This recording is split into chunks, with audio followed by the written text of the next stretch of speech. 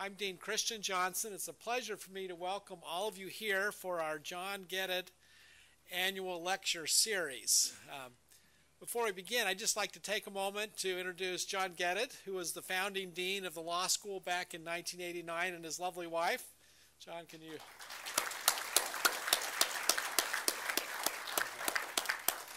The uh, annual series was named in uh, Professor Gedid's honor, and it's been a terrific and one of our signature events that we have here at the law school. I'd also like to thank, of course, all of the great Widener staff that make these events possible, in particular Sandy Graff, who spends a great deal of time getting things organized and, and ready to go. And finally, I'd like to thank in particular Professor Jill Family, who is the director of our Law and Government Institute and is in charge of putting this all together. And uh, Jill will introduce our speaker today.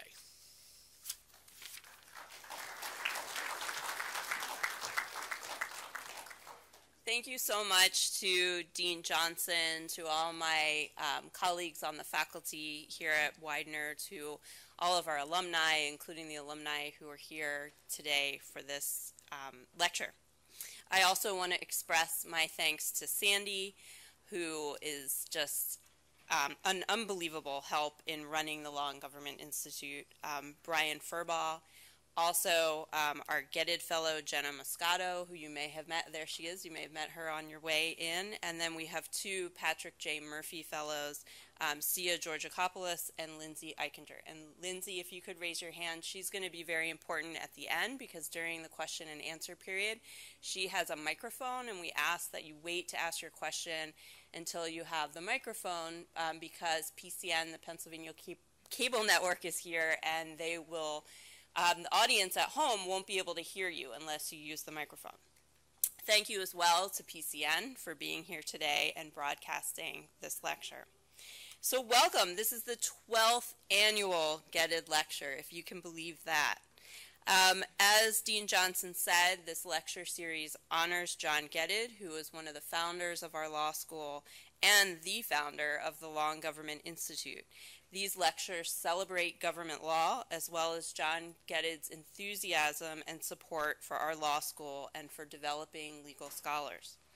The Law and Government Institute is all about public service. The Institute is dedicated to the study of government law, including the role of lawyers in the making and implementation of laws. At Widener Law Commonwealth, students may earn a certificate in government law in addition to their JD degree government law is fused into our curriculum here at Widener Law Commonwealth. The Institute's mission is founded on the idea that government works, that government is a positive force in our society. At Widener Law Commonwealth, we train lawyers to be a part of that positive force. We are so glad that John and his wife Carol are here with us this afternoon and as we do um, every year, I want to formally present John um, with a signed flyer from today's lecture, as we've been collecting them for 12 years. So I'm going to give that to him, and then I'm going to have a little present um, for Carol as well, because Carol um, has been a great support of the law school as well.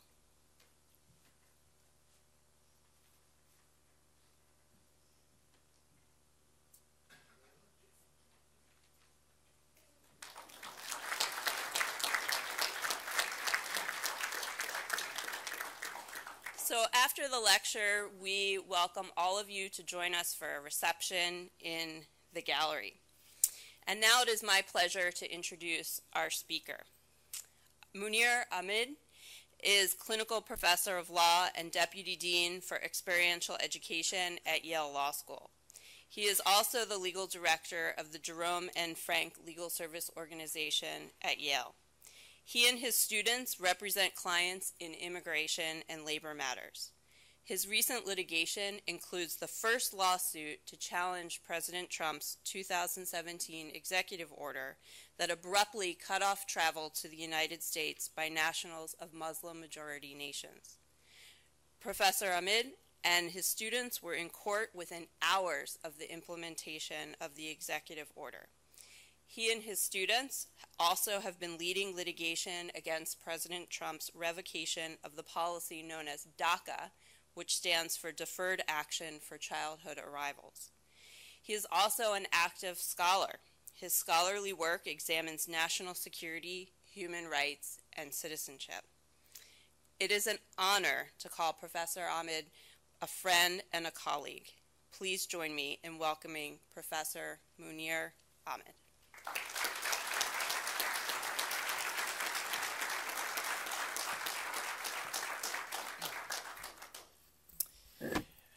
Good afternoon. I'm really delighted uh, to be here with all of you today to uh, deliver the John L. Gedid lecture. I'd especially like to thank Professor Jill Family, um, uh, not just for the kind introduction, but for being a friend and colleague and really a treasure to uh, the National Immigration Law Professoriate. Um, and I'm really delighted to, to be here um, at her invitation and in conversation with all of you. I also want to thank uh, Dean Johnson and Professor Gedid uh, and I want to thank Sandy Graff for helping to, uh, to get me here today. Um, I'm going to speak from the experience of litigating these two cases that Professor Family just referred to um, over the past year. Uh, cases that I have been litigating with my students, colleagues, and peers at our partner organizations. The first involves the first challenge to uh, the first Muslim ban, and the second concerns an ongoing legal challenge to the termination of the program known as DACA, Deferred Action for Childhood Arrivals. One way to understand the Muslim ban litigation is as a claim of rights by Muslim immigrants.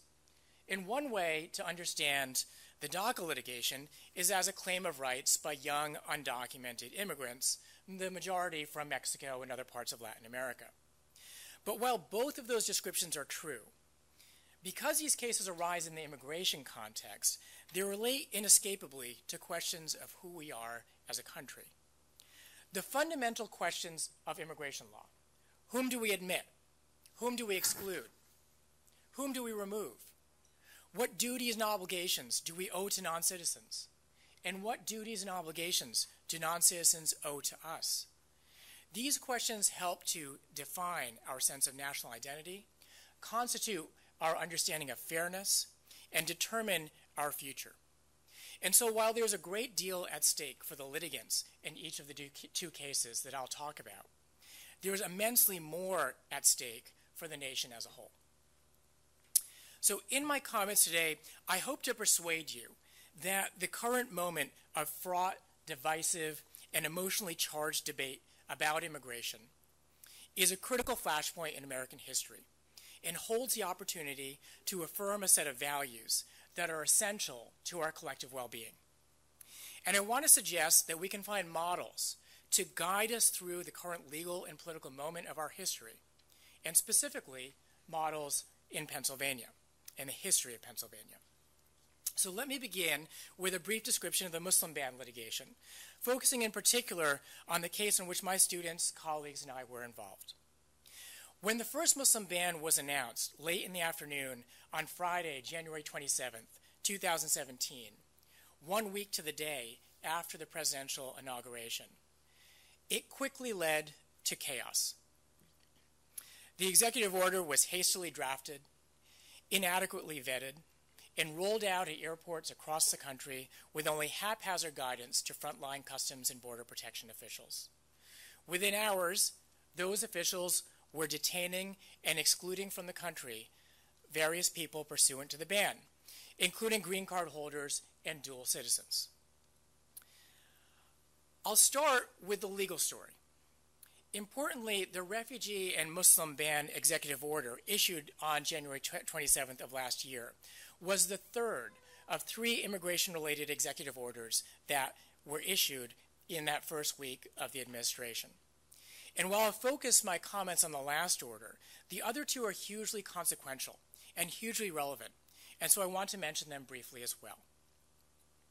On January 25th, 2017, the President issued one executive order focused on border security and a second focused on interior immigration enforcement. The former garnered attention because it commits to building the infamous wall, but also tucked into that order are provisions designed to make asylum more difficult to obtain for migrants crossing the southern border, primarily those from the northern triangle region of Guatemala, Honduras, and El Salvador. The latter order garnered attention because of its promise to crack down on so called sanctuary cities by withdrawing federal funds to jurisdictions that have refused to deploy their law enforcement resources in support of the federal government's deportation machine. But tucked into that order are provisions that drastically revamp the Department of Homeland Security's priorities for deportation of non citizens, making essentially any undocumented person a priority. And if so, if everyone is a priority, then there really are no priorities at all. And the result is to authorize immigration and customs enforcement officials to arrest, detain, and deport whomever they want. And that is very much what we've seen over the past 15 months. So the Muslim ban, the third of these three orders, issued on January 27th, has to be read in concert with these two prior orders. Because taken together, they promise to dramatically close our borders to immigrants generally and refugees specifically, and to unleash on communities across the country a deportation force. And that is the right term to use. That will tear communities apart. Looking back today, 15 months later, we can see that those orders have served as a blueprint for executing a vision of immigration enforcement designed to dramatically alter the composition of the country the racial composition, the national and ethnic composition, and the religious composition. What made the Muslim ban executive order different from the other two is that it was the first to be visibly implemented, and as such, it was the first to produce directly observable human suffering. So, what exactly did that first Muslim ban do, and what happened as a result? Let me start with what the order says. First, the, frame was, uh, the, the order was framed explicitly in terms of national security. Its title, as you can see on the slide, is Protecting the Nation from Foreign Terrorist uh, Entry into the United States. The order imposed a 120 day moratorium on, refugee on the refugee resettlement program as a whole. It indefinitely suspended entry of Syrian refuge refugees based on a finding that Syrian refugees were, quote, detrimental to the interests of the United States. It placed a cap on total refugee admissions at 50,000 for fiscal year 2017. The prior cap had been 110,000. It imposed a 90 day suspension of entry into the United States of non citizens from seven countries Iran, Iraq, Libya, Somalia, Sudan, Syria, and Yemen, and provided for authority for the government to add to that list. Now, of course, those were not all of the Muslim majority countries in the world, but they are all Muslim majority countries. And there's abundant evidence to suggest that this is how the administration intended to fill its explicit campaign promise of imposing a complete and total shutdown on Muslim immigrants. You might recall at one point candidate Trump saying, quote, I think Islam hates us. The order also um, remarkably expressed a religious preference for Christians over Muslims. Um, and finally, the order conflated Syrian refugees, Islam, and terrorism. The result was a penumbra of suspicion that encompassed all refugees, Muslim or not, and was plainly motivated by animus toward Muslims, and was both fueled by and added fuel to a xenophobia that jeopardizes all immigrants. Well, so that's what the order said. I want to turn now to what the order did. On the day that the order was issued, at that moment, all across the world, people who fell into the categories of exclusion were in transit to the United States when the order was announced and then frantically and erratically implemented. And those were the key ingredients of the chaos that followed because people were already in transit based on visas that had already been issued, subject to processes they had already completed, and vetting that had already been done. But all of that was yanked out from underneath the folks. And done so through haphazard instruction to frontline government officials.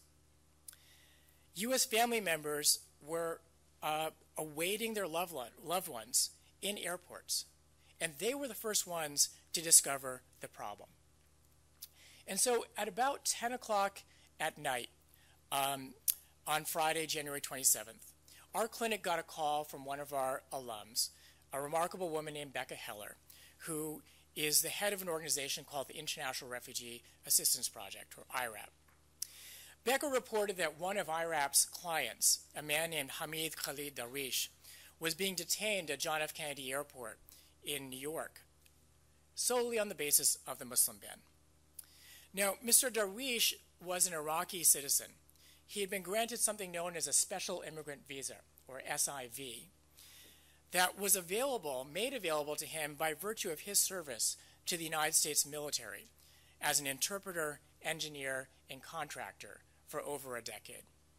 That service put his life in danger in Iraq, and that service and the danger, the jeopardy that it created, was then the basis for the visa that he was granted to come to the United States. He went through literally years of vetting to get that visa. And so when you hear the term extreme vetting, you might consider that extreme vetting has been part of the system all along. By 11 p.m. that Friday night, a group of my colleagues and I, along with our students and lawyers from the ACLU, the National Immigration Law Center, and IRAP, were on the phone to plot a legal strategy. Our students and colleagues worked literally through the night, and at 5:33 a.m. the next morning, we filed a nationwide class action habeas corpus lawsuit on behalf of all individuals detained anywhere in the country on the basis of the Muslim ban. Later that day, Saturday, the, 20, uh, uh, the 28th, um, the government released Mr. Darweesh and our second named plaintiff, a man named Haider al Shawi, in an attempt to moot out our case. We then filed a motion to stay the executive order as applied to anyone at any U.S. airport. Meanwhile, a team of our students prepared template habeas petitions for lawyers to use in individual cases. And indeed, dozens of individual habeas cases on behalf of um, dozens of individual individuals held at airports were filed using those papers. Another team of students participated in a nationwide press teleconference, and still others briefed a coalition of Arab, Muslim, and South Asian community based organizations and advocates about the litigation. In those first hours after the ban went into effect, hundreds if not thousands of volunteer lawyers and law students fanned out to airports across the country in order to assist individuals and families caught up in the ban. Here you can see um, lawyers from IRAP um, who are sitting on the floor providing legal advice to people at Kennedy Airport. Just as important, and maybe even more important, tens of thousands of people showed up at airports big and small to stand in solidarity with Muslims and refugees, to stand in opposition to the new administration, and to shape the political conditions in which the legal challenges would be heard. This was not just anti Trump sentiment. Rather, there were specific claims being made about inclusion and non discrimination. And not just at the big airports like JFK or San Francisco or Chicago here or Dulles. It also is going on at small and regional airports around the country. That Sunday, I had to fly down to um, Florida for a previously scheduled trip, and I flew out of the Hartford International Airport. Hartford International Airport because there was a flight to Toronto or something like that. There were a thousand people protesting when I showed up at the Hartford International Airport. I don't think I've ever seen a thousand people in the Hartford International Airport before. I was going down to Florida to Miami to give a talk, but I was um, actually flying into the Palm Beach International Airport uh, to visit my parents. Um, Palm Beach International Airport because they have a couple flights to the Bahamas. I landed there, and there were hundreds of people who were protesting at that airport.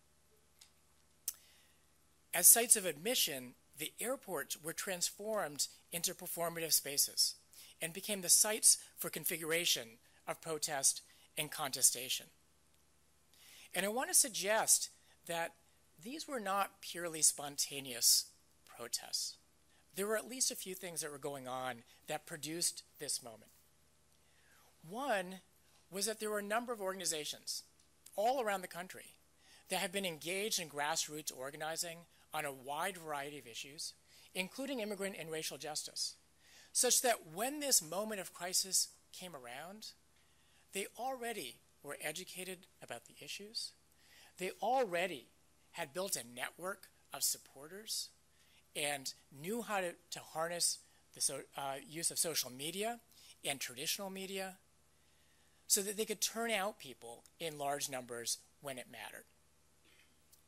But I want to suggest that there was something else going on. These protests, the airport protests, were going on on Saturday, January 28th. Exactly one week before that, Saturday, January 21st, was the Women's March. The Women's March is across the country, but particularly the Women's March in Washington, D.C. And I want to suggest that there was a through line from the Women's March on January 21st to the airport protests on January 28th. Something has been afoot in the country for a while now. Well, returning to the litigation, staying on that Saturday, January 28th, shortly after 7 p.m. on a Saturday night, Judge Ann Donnelly in the U.S. District Court in Brooklyn held a Saturday night hearing in the courthouse. And I was the one who called um, to ask for the hearing. I didn't know that someone would pick up the phone at the courthouse on a Saturday afternoon, but they did. And there was a duty judge who was uh, posted in case of emergency. And I said, We filed a lawsuit against the Muslim ban. And the clerk said, We've seen the papers. And I said, We'd like a hearing. And the clerk said, When can you be here? And I said, Well, what time is available? And they said, Call the government and tell the government that the judge would like to see you at 7 p.m. And so that's what we did. And I made one more call after that to the court security office. And I said, Judge Donnelly set a hearing for 7 p.m. tonight. I realize it's a Saturday, but are people allowed to come and watch the hearing? And they put me on hold and said, let me check. And they came back and they said, this is a public courthouse. This is a public hearing. How many people do you expect to come? I said, I couldn't hazard a guess.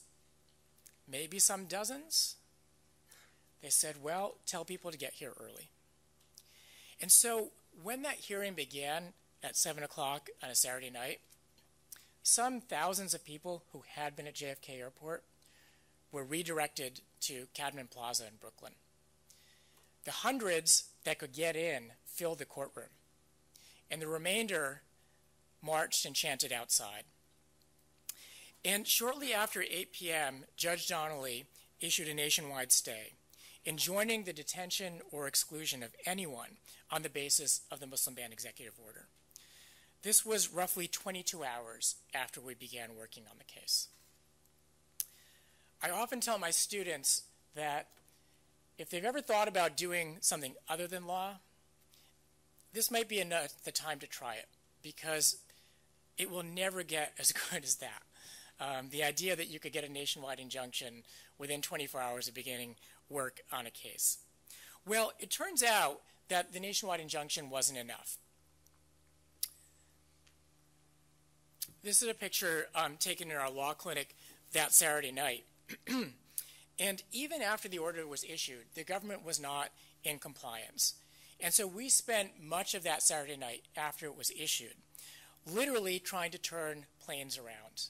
What's going on in this moment is that we had been contacted by an Iranian woman who was on a plane on the runway at JFK. And she was communicating to a cousin that the plane was getting ready to take off she was being sent back to Iran, and she was terrified. And so we tried, however we could, to get the government to honor the nationwide injunction. The U.S. Attorney's Office assured us it's being honored at JFK. We said, that's not the information we have. We're literally on the phone right now with somebody on the plane going down the runway. They said, well, all of our information says that the Muslim ban is not being enforced. But we knew that it was. And so students in this picture were calling the airline, Ukrainian, Ukrainian Airlines, as it turned out. We called them in Ukraine to try to get them to stop the plane. It didn't work. We called TSA thinking maybe we could find someone there who could help. It didn't work. We called the gate officials. Um, it didn't work. The woman on the other end of the phone, on the plane, um, uh, fearing her return to, to Iran, was growing ever more desperate. And frankly, so were we. Finally, in a fit of desperation, as we're trying to rack our brains and think, who can stop a plane from taking off? We thought, air traffic control. Air traffic control can stop a plane. So the student who's standing there in the middle with his phone up, so first year student, he'd been in our clinic for all of three weeks at this time. He tracked down the number for the Port Authority of New York and New Jersey, which controls air traffic control, uh, uh, runs air traffic control at JFK Airport.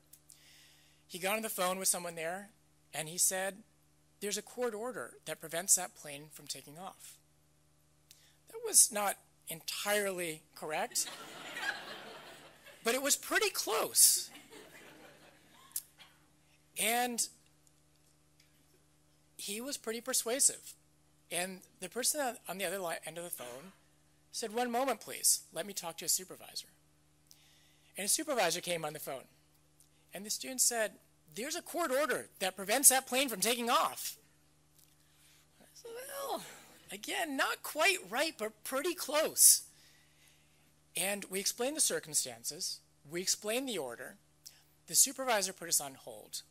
And a couple minutes later, he came back and said, the plane is turning around, it's going back to the gate. And about five minutes later, the U.S. Attorney's Office called us and said, okay, we managed to get that plane turned around. It's going back to the gate. I don't know whose efforts worked, um, but I will tell you that um, that old, uh, you know, saying about um, uh, in, uh, desperation breeding inspiration was absolutely true. Um, because we, uh, as much as I can laugh about it now, in that moment, really all that we could think about was his voice on the other end of the line, growing increasingly desperate, thinking that she was going to be sent back to persecution on the basis of an order that some hours earlier a federal judge had said could not be enforced. Well, in the course of just a few days after that, dozens of new lawsuits were challenged against that first ban. And as many of you know, the first Muslim ban executive order was replaced by a second Muslim ban executive order on March 6th, and then eventually that second Muslim ban executive order was replaced with a Muslim ban proclamation, each time engendering further litigation. And that litigation continues today. Our clinic's work on the first Muslim ban was quickly overtaken by those other cases. And as more and more lawyers flooded into that space and new developments arose, we receded into the background. But we did so having made one important mark in stopping, in really arresting the momentum of the administration one week um, into its rule on an issue of incredible importance to the people involved, but an issue of incredible symbolic importance for the country as a whole.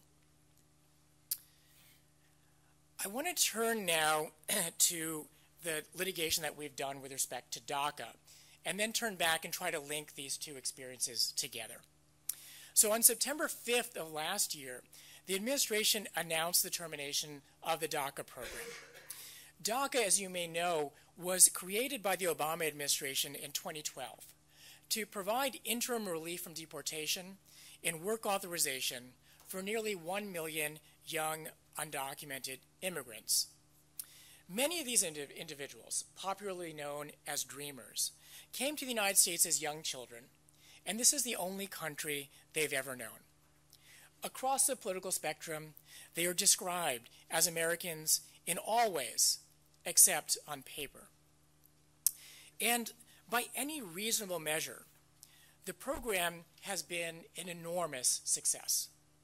It has allowed dreamers to enroll in college, to work in order to support themselves and their families, to purchase homes, to participate in their communities, and to live day to day without the constant fear of being torn from their families, put on a bus or a plane to a country they've never meaningfully known to live out the rest of their days. Candidate Trump spoke positively about Dreamers both before and after his election. And for the first eight months, even as his administration canceled other immigration programs, they left DACA intact. Then, abruptly, they announced that they were terminating the program, cutting off new applications for DACA and imposing a small window of time for people who already had DACA to renew their status. On the day of the announcement, the Attorney General held a press conference and the Secretary of Homeland Security issued a statement, both providing a hodgepodge of contradictory, illogical, and in our view, pretextual reasons for the termination.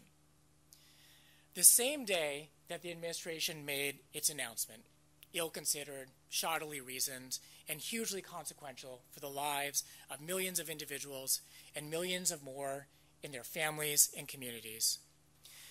Our clinic, along with uh, partner organizations Make the Road New York and the National Immigration Law Center, filed our notice of intent to sue, claiming that the government's actions were arbitrary and capricious in violation of the Administrative Procedure Act. this is our lead plaintiff, Martin Batalla Vidal, a young Latino dreamer who, by virtue of uh, his having joined a lawsuit related to DACA a year earlier, had developed the skills to be an eloquent and effective spokesperson for himself, for his community, for the issue of DACA, for the plight of dreamers, and for a notion of the American dream, the same dream that the dreamers are named after. Likewise, our organizational client, Make the Road New York, was situated to educate its members about the lawsuit and mobilize them around it.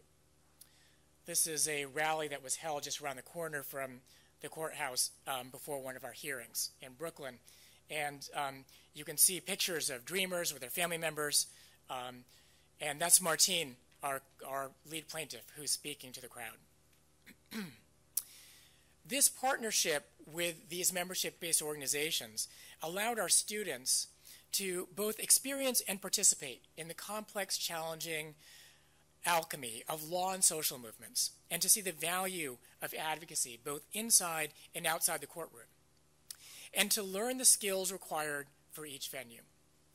This is um, one of our students speaking at a press conference outside of the federal court just after um, completing one of our hearings.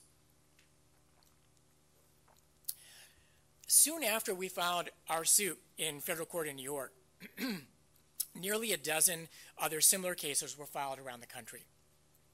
Two sets of cases, one in the Northern District of California and the other, um, ours in New York, have moved the fastest. In each, district court judges have issued preliminary injunctions ordering the government to continue accepting renewal applications from DACA recipients, pending a final resolution of the case. They've done so based on a finding that we're likely to succeed on the merits, establishing that the government action was arbitrary and capricious. Those cases are now pending before the Ninth Circuit and the Second Circuit, respectively, and may well head to the Supreme Court after that. Now, on their surface, these cases challenge the sufficiency and legitimacy of the reasons given by the government for terminating the DACA program.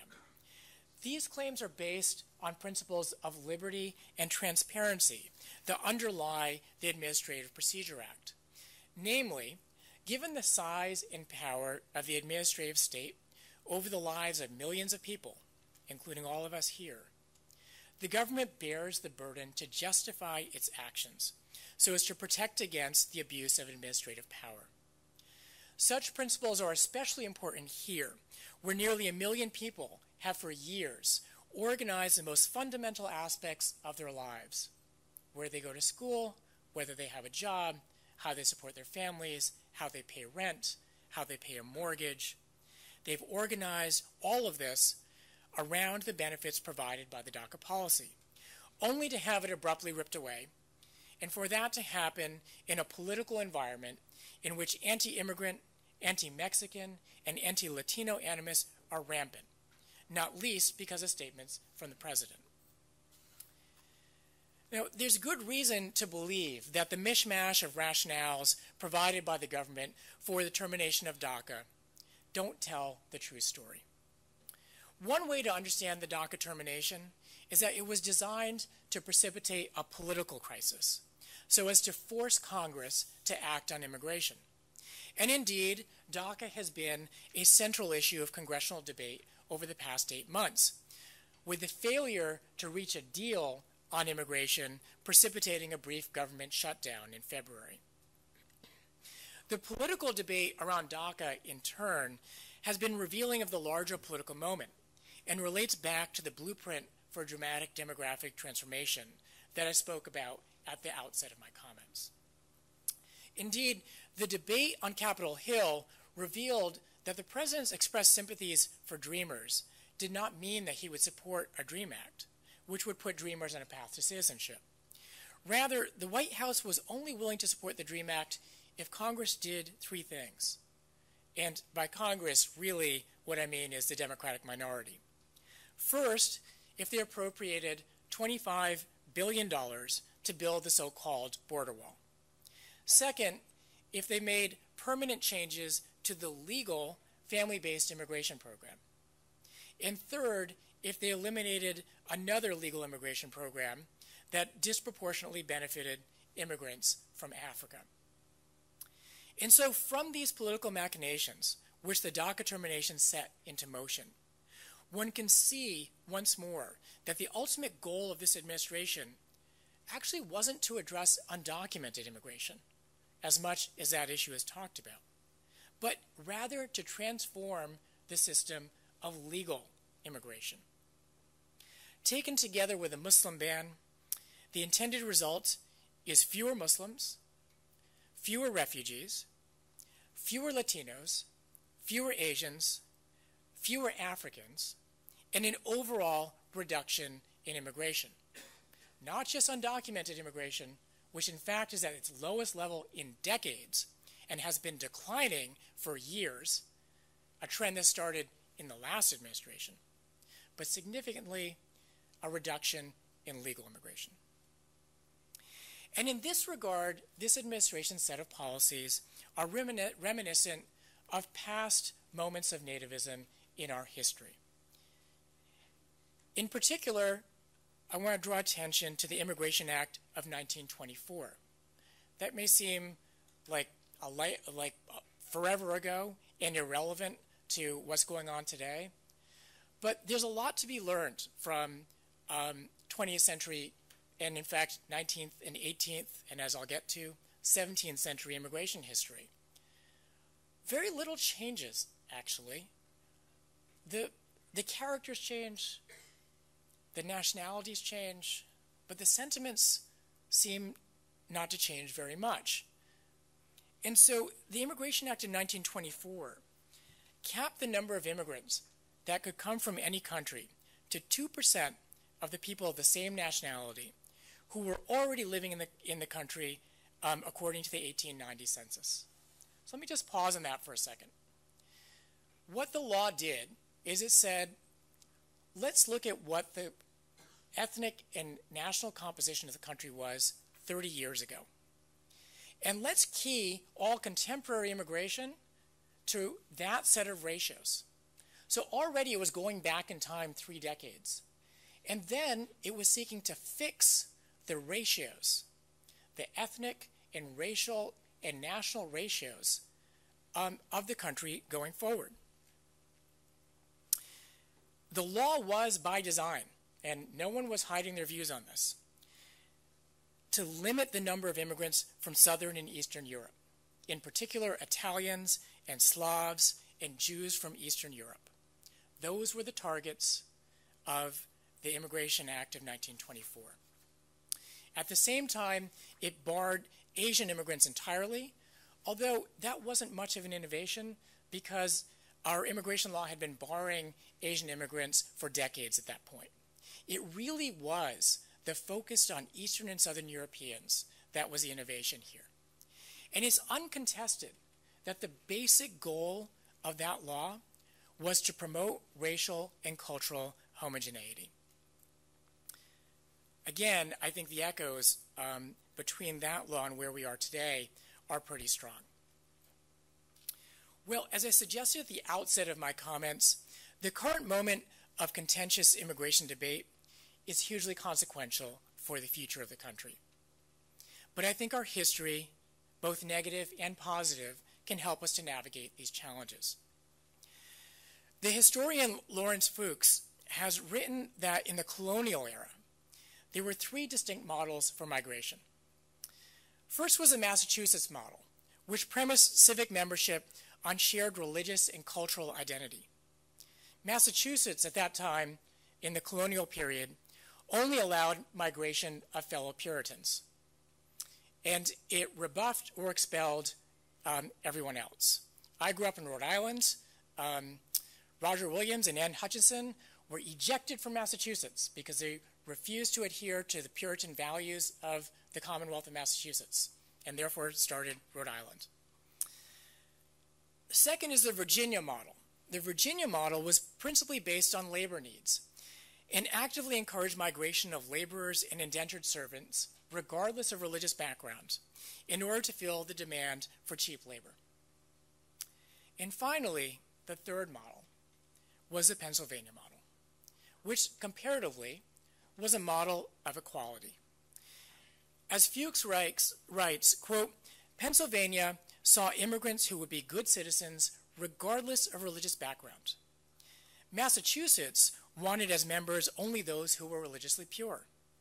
In Virginia, with its increasing reliance on a plantation economy, wanted workers as cheaply as it could get them without necessarily welcoming them to, the membership, to membership in the community. Although limited to only white persons, as Fuchs writes, quote, Pennsylvania, following the model, uh, following the leadership of William Penn in 1681, had by the early 18th century established a policy of encouraging immigration of Europeans regardless of their religious background and of admitting them to membership in the civic life of the colony on roughly equal terms with native born Pennsylvanians. As a result, Pennsylvania became home to Scotch Irish Presbyterians, Baptists and Presbyterians from Wales, and a variety of German pietists. German immigrants, particularly, provided a linguistically and culturally diverse population. Some of you may know that German immigrants were not always so welcome in Pennsylvania by all parts. Um, Pennsylvania's most famous son, Ben Franklin, earlier on in his political career, held a fairly ethno nationalist view of immigration, though it changed over the course of his lifetime. Fuchs describes that by 1753, two of the six printing houses run by Germans in Pennsylvania published in English, and two partly in English, uh, uh, two partly in English. Ben Franklin was furious that the remaining two continued to publish only in German.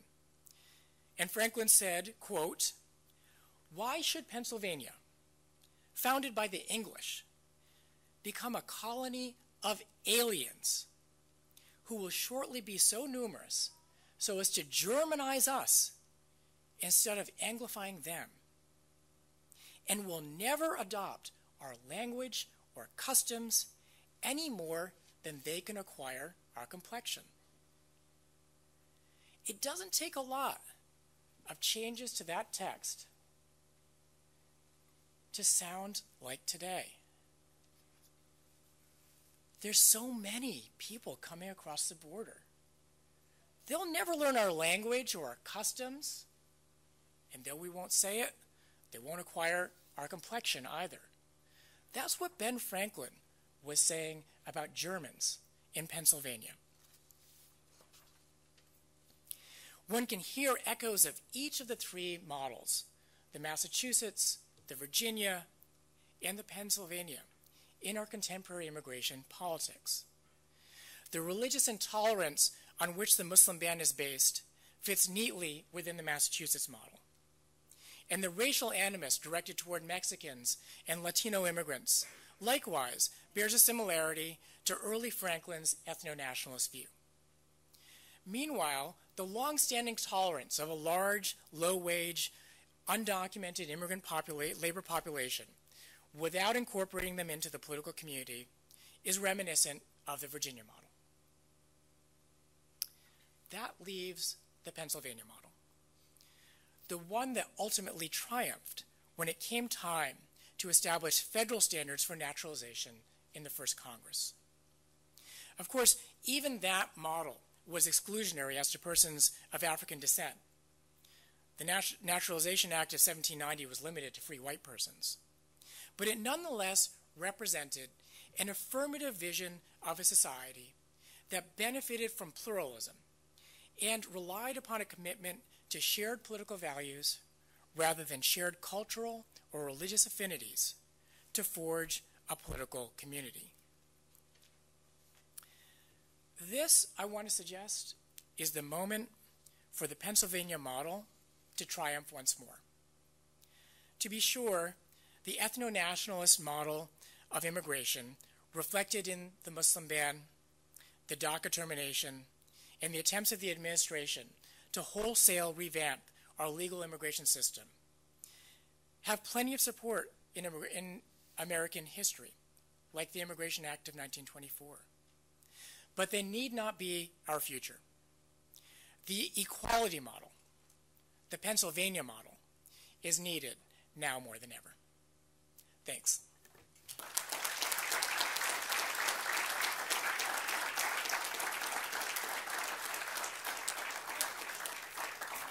Thank you so much. Are there questions? Uh, with regard to, Oh, sorry, just, can you wait for the mic? Sorry. check, check, is it on? Yep. Okay, all right. Uh, with regard to the uh, litigation of, on the Muslim ban and the executive order, uh, you said you were somewhat prepared. Was the government prepared for that litigation at that time? Um, absolutely not. And I'll give you an example um, to illustrate that. Um, that Saturday night hearing, um, the judge asked the government to explain what the basis was for um, the for the order. there were lawyers from the Department of Justice in D.C. who were um, participating by phone, and essentially what they said is we're not prepared to address that question. Now, that's not so dissimilar from the DACA termination, actually, where even when they stated reasons, this you, know, you push on them a little bit and, and they collapse. But no, the lawyers were not prepared to stand up in federal court and say, this is the basis for the policy that we just announced that is resulting in people being put on planes, potentially being sent back to their deaths. Um, and that was, frankly, a big reason that the injunction was issued, because um, at that stage of litigation, where what we were seeking was effectively a temporary restraining order, um, there are three factors for the court to consider. One is the risk of irreparable harm. The second is whether it's in the public interest. And the third is um, the likelihood of success on the merits. Well, there really was no conversation to be had about the merits because the government didn't give a countervailing argument. And um, the risk of irreparable harm was enormous. It was off the charts. And so that is part of what I think made it actually an easy call um, legally for the judge to issue that decision. Now, I say legally because politically it was a hard call. Politically, it was the first week of a brand new administration after a very contentious election, and there was no way to do this without this entire case being viewed through a lens of politics. But legally, I think actually was an easy call, and the fact that the government lawyers, like the rest of the government, was unprepared for that moment is, is part of what made it easy.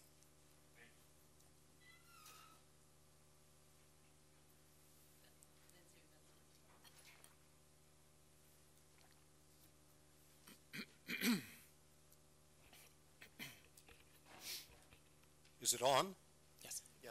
with respect to the reduction in the numerical caps on uh, refugees that you mentioned at the beginning, that went from, I guess, 110,000 to 50,000, um, I, am curious. I, have been doing some work with refugee resettlement work around here, mm-hmm. and what I've noticed is that the flow has seems to have been reduced to a trickle uh, at this point, uh, not just by half. And I'm wondering if you have any sense of what's going on with that, uh, and what, if anything, might be going on to try to uh, sort of in court to uh, address what seems to be uh, a reduction that goes even beyond those caps.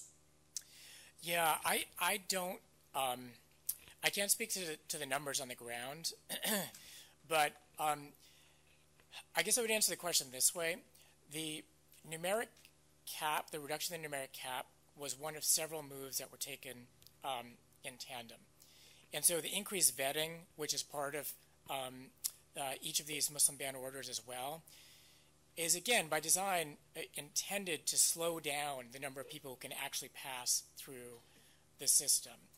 Um, we have some reason to believe that even in the absence of a formal ban, um, informally, that uh, uh, the that government officials um, may be slowing the processing of applications. Um, there's a number of things that are hard to establish um, empirically, although there's a lot of work being done to try to do that. The, the whole question of how that limit got set, um, by statute, the president is supposed to consult with Congress in making that designation, the annual designation.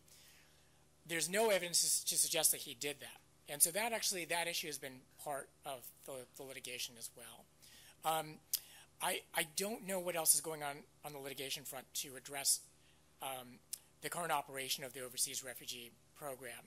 But it is a very live and, and active area, as it should be, because the idea that we would cut by more than 50% the number of refugees that we're accepting when you open up the paper and see what is going on in terms of refugee crises around the world is astonishing and heartbreaking.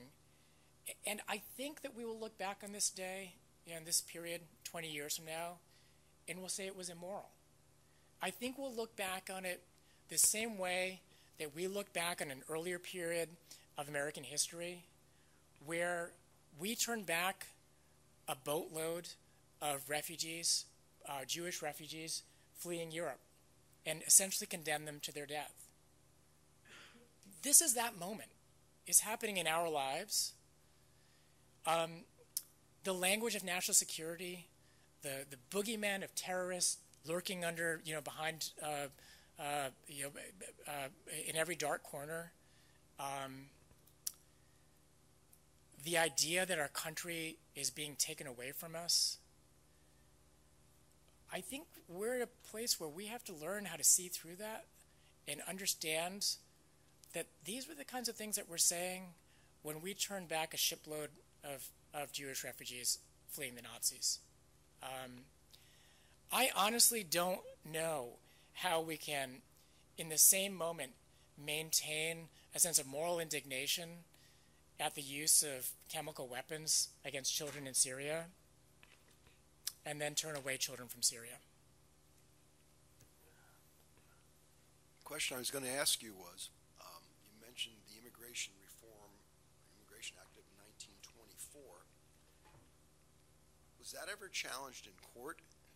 And I think I know the answer, but it's not from any knowledge of the law, it's from knowledge of the fact that a boatload of Jews were sent back to their deaths 10 years later. Uh, what happened as the outgrowth of the 1924 Immigration Act? Yeah, it's a, it's a good question. I don't know that there was any litigation um, of the issue. I mean, and, and if there was, I, am, I feel reasonably comfortable predicting that it would have been, um, that, that, it was unsuccessful. The reason being that um, the, the executive has enormous authority. Um, the way that our constitutional system has been interpreted by the courts, the executive has enormous authority in setting the limits of um, overall limits of immigration and um, uh, country by country designations. Um, it's understood to be part of the sovereign power of the country, is understood to relate to um, power over international relations. And so when in subsequent decades there have been legal challenges, they've almost um, always failed um, out of a deference to the executive in making those kinds of determinations.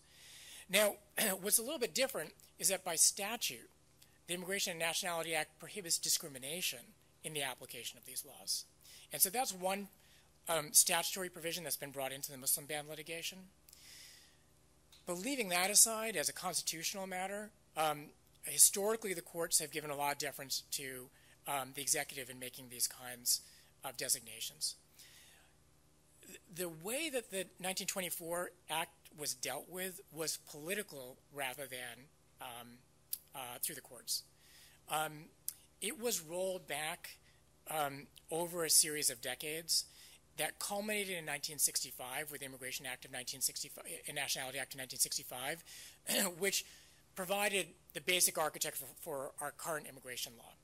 And one thing that the 1965 Act did is it did away with these national origins quotas. Um, but that was a long political process.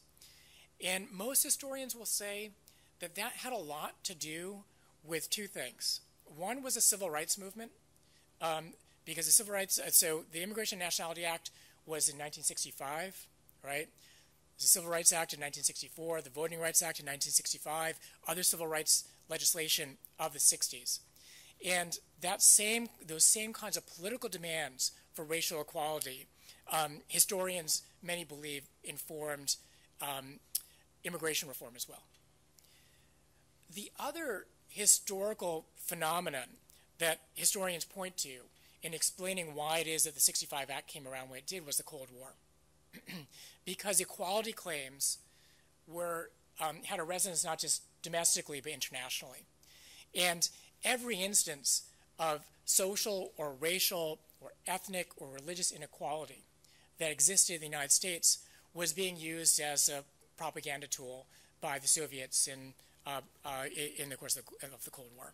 But that's a political and historical story much more than a legal story.